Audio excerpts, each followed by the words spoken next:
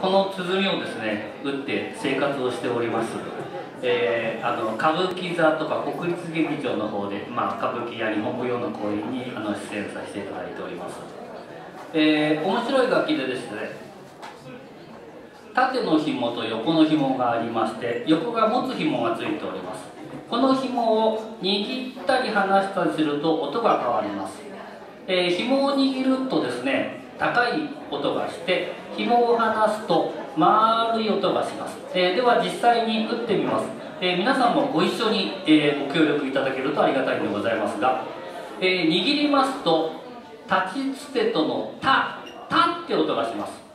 え、一緒に「た」と言っていただけるとそのように聞こえます。ではお願いいたします。せーの「た」せーの「た」これが「た」ですね、えー、今のが「た」という音です。そして、えー、紐を離しますと「ポン」という音がします。丸い音がします、えー、こちらもポンと一緒に言っていただけるとありがたいでございます。で、ポンというふうに聞こえたら拍手をしてください。せーの。ありがとうございますではですね左手で握ったり離したりする様子を見ていただきながら音を変えてみたいと思います。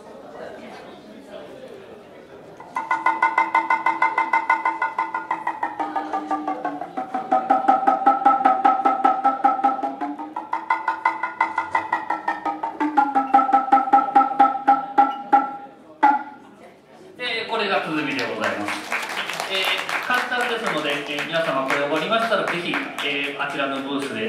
試しにやってみてくださいませ。もう一つ太鼓という楽器を持ってきておりますのでこれも簡単に説明させていただきます、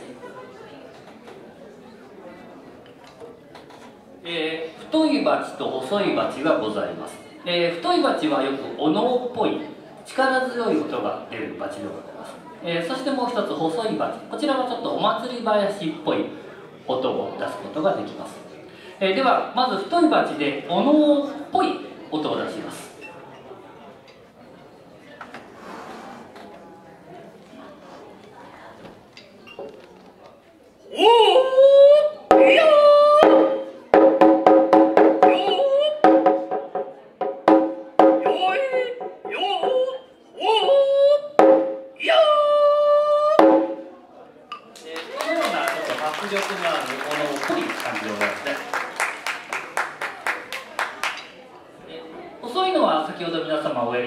祭り囃子っぽいものができます。でこれでお笛や大太鼓鐘などが入ると祭り囃子ですね。で最初ちょっと、えー、ゆっくりしたのどかなお祭りそれでちょっと賑やかなお祭りのようなことをやっています。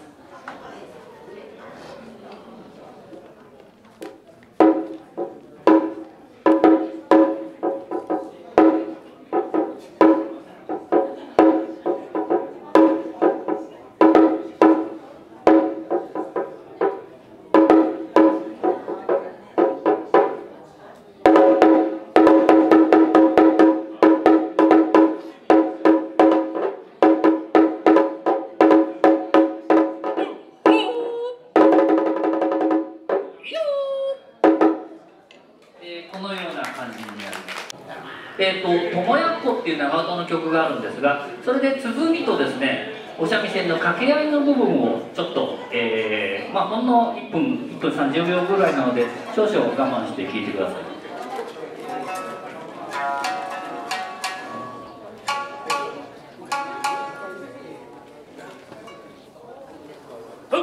you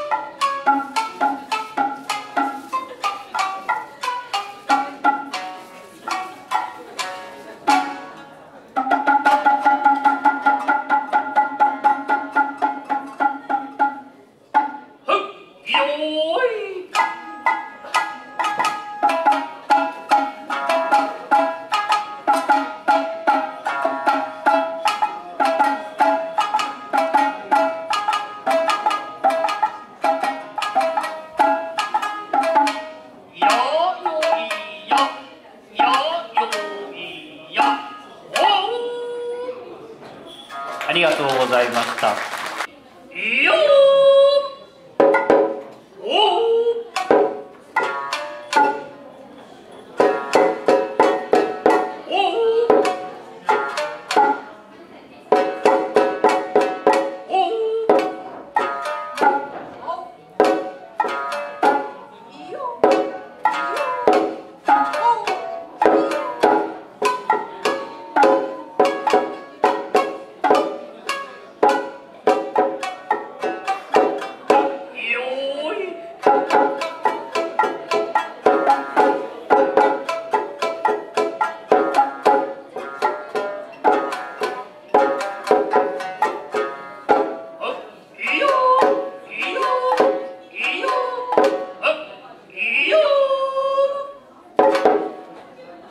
どうもありがとうございました。